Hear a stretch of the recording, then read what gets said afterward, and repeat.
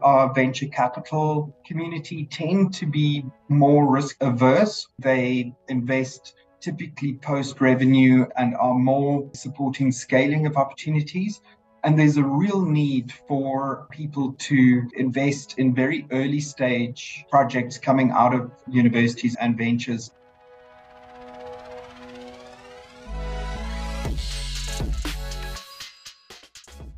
Hello, and welcome to the Strategic Partnerships podcast series. My name is Balzhan Orazbayeva, Manager Strategic Initiatives at UIIN, and I'm your host for today.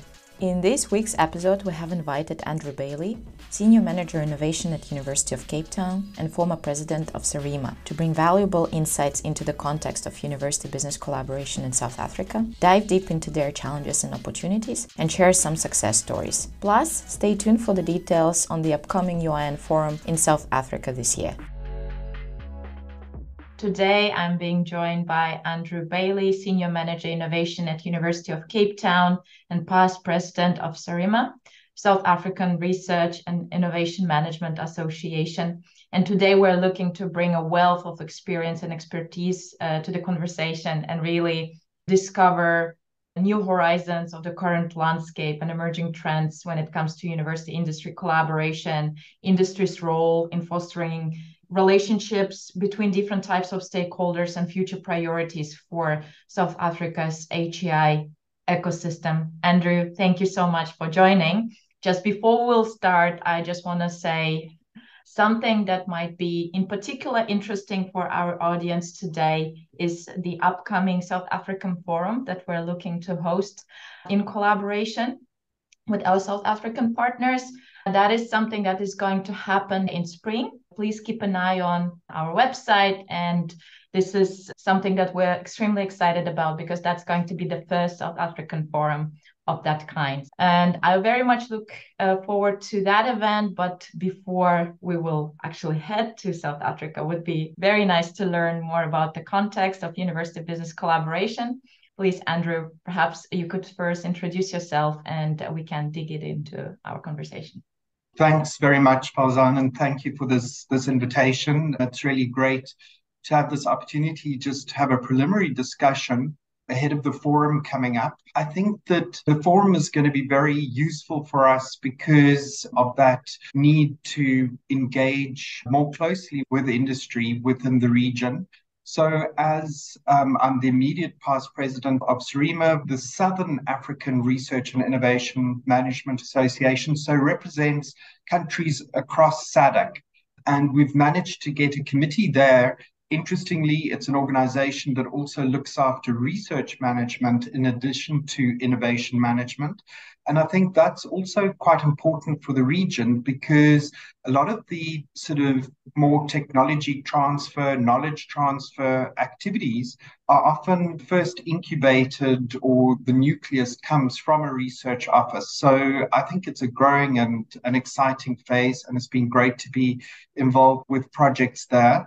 My day job is at the University of Cape Town and I've been here for just over 15 years. And it's been fantastic just to see the change in technology transfer activity capacity within the country, but also importantly at the university. And it's interesting, we're reflecting back on a report that we did in 2010, and it's actually great to do these sort of assessments, the state of tech transfer or, or whatever, because you look back you know, 10 years later and you can see a lot has happened and changed and positive improvement. Wonderful. Thank you so much. On that, actually, now that uh, some time has passed since the last report, I wonder whether you can share any insights into the current state of university industry collaboration and knowledge transfer in South Africa, maybe also highlighting some of the key challenges and opportunities? Sure. Interestingly, we found that it is probably decreasing compared to 10 years ago in certain sort of elements and sectors. I think that a lot of research within South Africa was dominated by Sasol, a petrochemical company, as well as mining houses and really significant programs and funding support new buildings really came from those sort of industry collaborations. And you know, you find with a, a sort of maturing industry, such as the mining one, that often if you have an economic downturn, that then tends to move people away from being able to fund R&D at universities. I think something else that's interesting for us is just where you get your contract research and innovation coming in from. We find that there is not as much from the Western Cape, which is the region that the university is in. But you look at it, and often we, ironically, because there aren't mines that close to us, do a lot of work for the mining industry. But you're beginning to see changes where, for instance, the medical device sector in the Western Cape has really grown. And I think that it's largely being driven by the University of Stellenbosch and ourselves with very strong biomedical engineering departments. And you've got those biomedical engineering graduates, but you've also got intellectual property going out there. And I think that's been great, definitely in the last 10 years, to see that whole ecosystem develop. And so I think a lot of our sort of industry interaction is beginning to move into, say, the SME space. So, startup companies, that type of thing. Interestingly, also find there have been strong collaborations with finance institutes, be it insurance, etc., and fintech has also been you know quite interesting so I, I, guess it's a time of renewal and looking for new industry partners and importantly, too, there's foreign industry where you find that often they are very interested in technologies. I think a challenge for us is sometimes the absorptive capacity of local industry. And that is why, particularly in, say, the pharmaceutical space, we would find that we're actually interacting more with the foreign pharma than, than local pharma. It's great to hear that there is certainly this wave of diversification of not only stakeholder types, but also types of industry in the race of university industry collaboration. But from your experience, what would you say would be the key factors that would be contributing to that success, to that race, uh, and that change that is happening right now in this space? And what would be perhaps the the challenges that institutions frequently encounter you already mentioned absorptive capacity which i think is yeah. not uncommon but yeah. maybe yeah. there is something else that is very particular for that context specifically yeah so i think one's also got to look at the at the sort of different modes of of interaction and i think that consulting in particular is an interesting one i think that often technical experts can provide specific insights or, or whatever. But what it really speaks to is a mismatch, maybe in terms of the time horizon to get to results. If it's a smaller company, they're needing a problem solved within a couple of days. Consulting could well assist that. What we're wanting to do is to try and develop longer term interactions with companies to enable one to build a multi year relationship with them. We've just had a sort of relatively new relationship start with a company that's actually focused on developing an autonomous driving car and we had some technology. And interestingly, that was the reason that we got the interaction. But we actually found that specific technology was really not the core thing that they could apply immediately. They're still interested in the technology down the line. But what it brought in was the opportunity to look at customizing products that are faster to market. And we have a lot of potholes in Johannesburg. And so what they've done is looked at sensing on car bumpers, aggregating the information so that you can effectively map out serious potholes for both drivers to protect themselves, but also insurers and maintainers of, of the roads. And that has led to a number of, of sort of student opportunities with, within the companies. I think that's really worthwhile. They landed up applying for particular government funding. And I think that's something that can be a challenge. And if the university can assist with accessing these types of government funding schemes, it certainly helps because I think your funding of that collaboration is quite critical. It's interesting because we have some tax incentives. You can deduct 150% of your R&D expenses if, if you're a company, but they tend to be administratively onerous, and that then doesn't become as much of an incentive.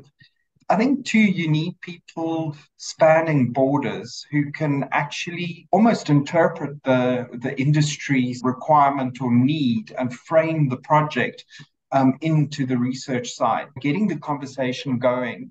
And we do that in part through something that we call a catalyst lunch, where we bring together funders, some local industry players, and then researchers from across the university, just to have a lunch where no one's asking anyone for anything. You're not pitching for money or, or mm-hmm. whatever. But you've aligned people with say, a topic that could be fairly broad, such as imaging, but you've taken medical imaging, computer processing of images, astronomy, software, whatever.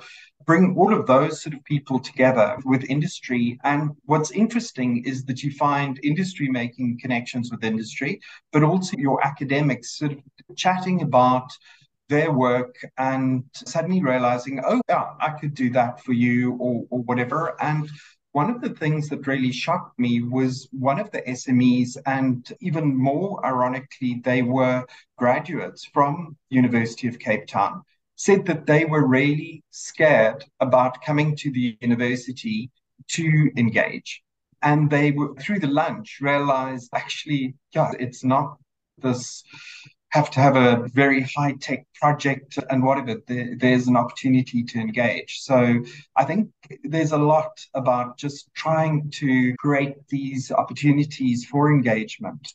That's a wonderful example of how serendipitous connection can lead to groundbreaking innovation perhaps uh, who knows in yeah. the future but at least there is a start to some sort of connection that has been sparked. And i'm wondering how would you actually raise their awareness on that? Because i think it's very interesting and this uh, fact that shocked you so much i think is also very much shocking to many universities out there not only in south africa. So how can we make our potential industry partners aware that the doors are open, there are possibilities, and let's just get together and have a chat just to start with. Yeah, something that we've actually considered in conjunction. We've got quite a good technology transfer office network in the, the Western Cape. There are, are five institutions with tech transfer offices. And something that we've discussed is really where one could perhaps have some type of sector focused event where you can exhibit particular expertise within the university but maybe frame it also around exploring challenges that a particular industry sector are, are facing. One of the key things is trying to get those key questions into the university researchers' minds thinking of solutions because then those solutions have impact and they're going out there for a, a specific local need. And I think that through really events and, and pulling the, the different players together so that they can learn about the the sort of various capabilities. I think the other thing is around communication, and we are certainly doing a lot more about celebrating sort of spin-off company success or commercialization or new technology or even awards that that people win which is actually getting into, say, m- more normal sort of media news than technical publications. And that's where people are realizing, gosh, okay, that, that project's a possibility. Through the one, we landed up with a significant investor being attracted to one of our spin off companies because they're focused on hydrogen fuel cells. And he had a particular interest in green hydrogen and read the informal article. I think it's that type of knowledge and trying to find ways of making it as palatable and interesting as possible. So small bites of information, little video clips, that type of thing. So yeah, we're realizing that's very important for us. That uh, completely makes sense to me as well. Just uh, doing that work around communicating actually what is possible. But yeah. now that we have covered most of the university side, I'm wondering what would be your take on the role of industry in this particular setting? How can industry partners actively enhance and foster more collaborations with universities in South Africa? One of the, the touch points is also on your sort of graduate programs where they are on advisory boards for departments and steering the curriculum development, ensuring that you've got relevant graduates going out. And I think giving opportunities for graduates to do some practical experience, be it either in the, the sort of vacation periods or maybe even as part of a, module in a, a, semester to allow them to effectively get that first feel of, of real life industry with, within their field because I think a challenge that, interestingly, some of our spin off companies raised was that the university must do more to business ready their graduates. And I think that's actually a role where industry could play a role with later stage students and engaging with them more sure there's a level of, of cost in accommodating the students, but often, you know, for the experiential training or whatever, they wouldn't necessarily need to be paid. So I think there's something. The other thing is where industry players get together in a particular sector and they maybe put funding together to focus on specific sort of research topics. And in that way, especially for smaller players, companies will benefit from the research output. Obviously, this is in the pre competitive space, but you can then have these programs administered, 10 companies putting money in and actually funding a particular research activity area. We've had some very large organizations of, these sort of consortia where it's multinational, multiple universities, that sort of a thing. But we've also seen an interest where a particular research group has managed to attract several industry partners. And they, so they're not actually interested in the output of that research group, but they're not prescribing specific sort of research contracts or, or, whatever. It's more of a let's see what happens, let's support the group, and then maybe we've got a first right if something comes out that aligns with our business. And I, I think again, that's to me a, a really useful way of um, industry then supporting and guiding re- research to a large extent so that it, it meets industry requirements. Thank you for that.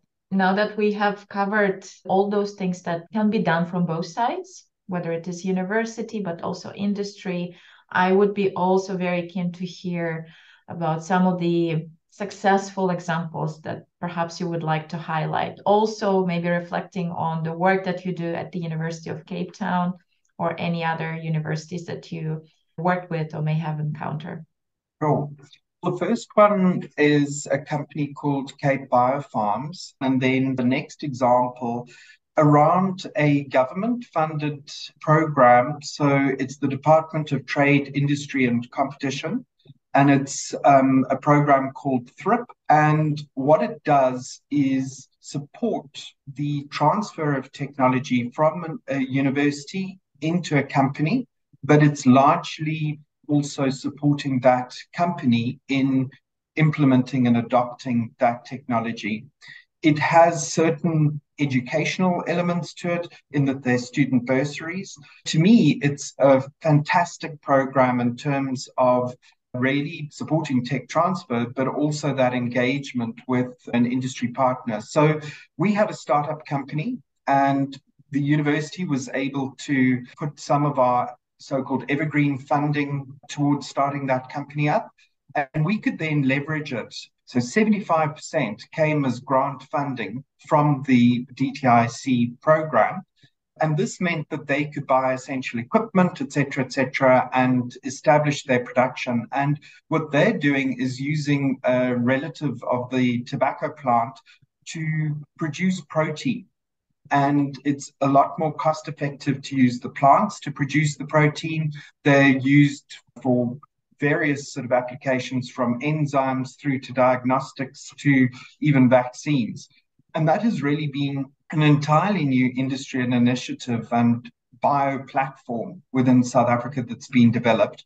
And they took two of the initial graduates who were busy with their masters into the company as their initial technical team. And they now have about 60 people three years or so later. That I think has been an excellent success story in that the technologies out there, you've got jobs for um, highly skilled graduates, you've got a new business that's that started.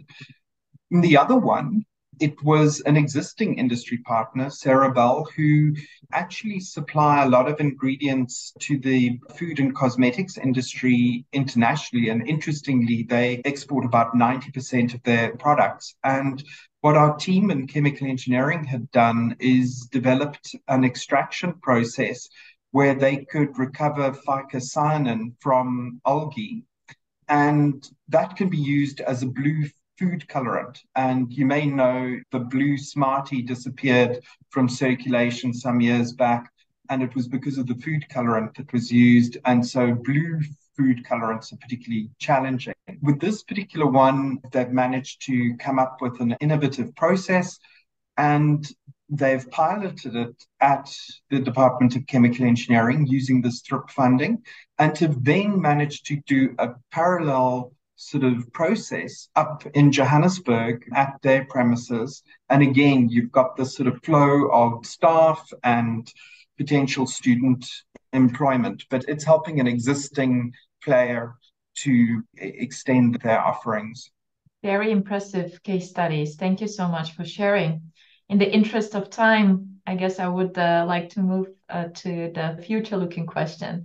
And looking ahead, I I'm very keen to learn from you. What do you believe should be the focus areas or priorities for South Africa's um, higher education ecosystem when it comes to collaboration, transfer of knowledge and technology? Any ideas uh, from your side on how it might look like in the future? Yeah, so I think that we really need to look at building seasoned entrepreneurs and having that sort of ecosystem where you've got experienced entrepreneurs to move into new opportunities and building them out. I think one of the things is that our venture capital community tend to be more risk averse, or let's say they invest typically post revenue and are more maybe supporting scaling of opportunities. And there's a real need for uh, people to invest in very early stage projects coming out of universities and ventures. And I think that's where there's probably quite a funding shortage. And I would hope that in this next 10 years that there, there will be better funding in that space. We've been lucky enough to participate as a special partner in the University Technology Fund, which really was a first for Africa in terms of very early stage investment in university technologies.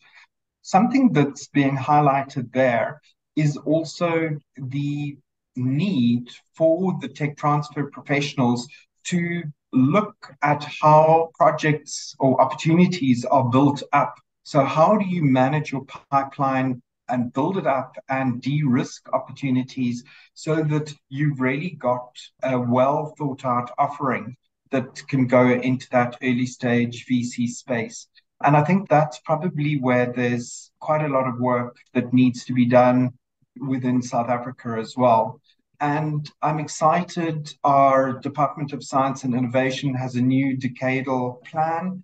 And they're engaging with the tech transfer officers. And I think that through some of these initiatives where Department of Science and Innovation get together with Department of Trade and Industry and link their sort of funding opportunities where you bring industry in and people understand more about picking up, say, deep tech opportunities coming out of universities. That's probably where things are different. I think that there's been a lot around sort of IT based companies, a lot in the financial services sector, and it's actually pushing it out further into the space of deep tech and becoming familiar with that. Thank you so much, Andrew. That brings us to the end. Andrew, very much looking forward also to learning more at the upcoming event in South Africa when UIIN will go all the way to uh, reconnect with South African community. Thank you so much, everyone. Thank you, Andrew, for this very enriching discussion and goodbye. Thanks so much, Balzhan. Thank you for listening to today's discussion.